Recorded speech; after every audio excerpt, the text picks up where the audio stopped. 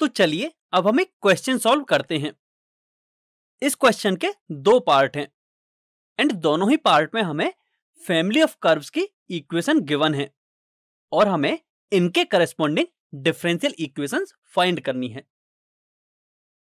तो चलिए, अब हम इनका सॉल्यूशन डिस्कस करते हैं। सबसे पहले हम फ़र्स्ट पार्ट को देखते हैं तो हमें जो इक्वेशन गिवन है, हम इसको इक्वेशन वन एज्यूम करते हैं। अब यदि हम इसमें number of arbitrary constants check करें तो इसमें number of arbitrary constants two हैं। इसका मतलब हम गिवन इक्वेशन को दो बार डिफ्रेंशिएट करेंगे। तो जब हम फ़र्स्ट टाइम डिफ्रेंशिएट करेंगे then we get two y into y dash is equal to minus two a x इसे हम रीअरेंज करके कुछ इस तरह से लिख सकते हैं एंड हमने इसको इक्वेशन टू अज्यूम किया है। अब इसे हम एक और बार डिफ्रेंशिएट करेंगे, क्योंकि इसमें number of arbitrary constant two थे। तो अब हम इसे डिफ्रेंशिएट कैसे करेंगे? तो अब यदि हम इक्वेशन टू के लेफ़्ट हैंड साइड में देखें तो उसमें दो फ़ंक्शंस का मल्टीप्लाई हो रहा है, एक है y और दूसरा है y डैश यानी कि जब हम इसका डिफ्रेंसिएशन करेंगे तो हम इसमें मल्टीप्लीकेशन रूल अप्लाई करेंगे। तो इसका डिफ्रेंसिएशन कुछ इस प्रकार होगा। एंड इसे हम सिंप्लीफाई करके कुछ इस तरह से लिख सकते हैं। और इसे हमने इक्वेशन नंबर थ्री नाम दिया है।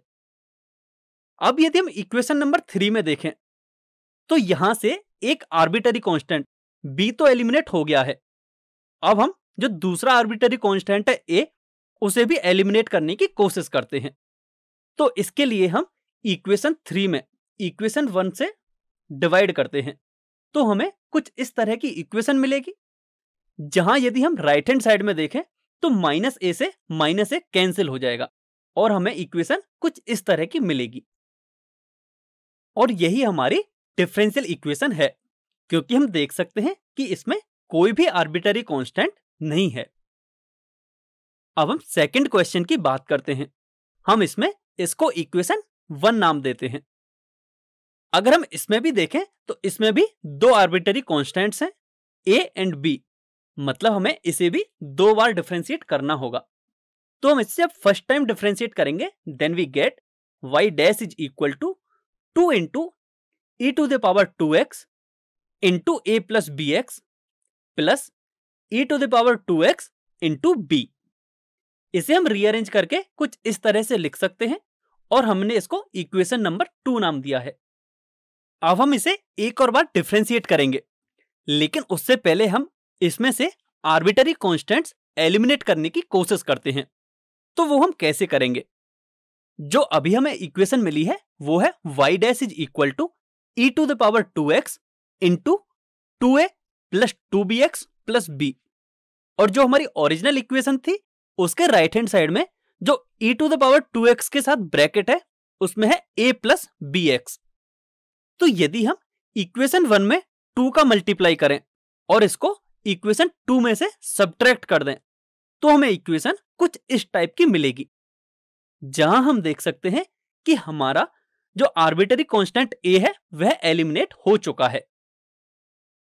तो अब हम इसे एक और बार डिफ्रेंशिएट करेंगे। Then we get y double dash minus two y dash is equal to two into b into e to the power two x और इसको हमने इक्वेशन नंबर फोर नाम दिया है।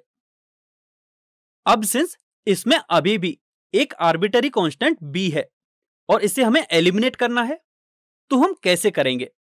हम देख सकते हैं कि इक्वेशन नंबर थ्री में भी एक आर्बिटरी कांस्टेंट है बी और इक्वेशन फोर में भी एक आर्बिटरी कांस्टेंट है बी तो यदि हम इक्वेशन फोर में इक्वेशन थ्री का डिवाइड कर दें तो लेफ़्ट हैंड साइड में हमें एक इक्वेशन मिलेगी और राइट हैंड साइड में जो भी टर्म्स मिलेंगी, उसमें बी से बी कैंसिल हो जाएगा। जिसको सिंप्लीफाई करके हम कुछ इस तरह से भी लिख सकते हैं। जहाँ हमें इक्वेशन मिली है y double dash minus four y dash plus four y is equal to two and इसमें हम देख सकते हैं कि इसमें कोई भी आर्बिटरी कॉन्स्टेंट नहीं है। इसका मतलब यही हमारी डिफरेंशियल इक्वेशन है।